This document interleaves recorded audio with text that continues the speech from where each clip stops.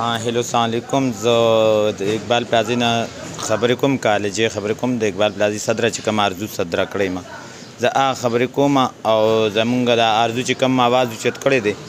د ښکاواز ته مونږ ټول وسره ولاړ یو مونږ انصاف غواړو کمر نسیم او د هغه خزه ته زموږ دا خواست دی چې موږ ته د خپل هر څه میلاو شي موږ د هغه هیڅ هم نه دي کړي چې موږ له څه کړی وي د هغون خوا چې سره دا دی ولاړ دي صحیح ده نه به دی سیکس کو د اقبال پلازه په سیکس یادېږي دی کې هغوی به نه سیکس کو او نه به دا کپړې اچولې خو ځکه چې موږ ته هیڅ دغه نه دی میلاو شوی ارزو چې کوم اواز اوچت کړی موږ ارزو سره ولاړ یو وزیر اعظم ته او عمران خان ته زموږ دا خواست دی چې په دې دې غټ اکشن واغوستیږي.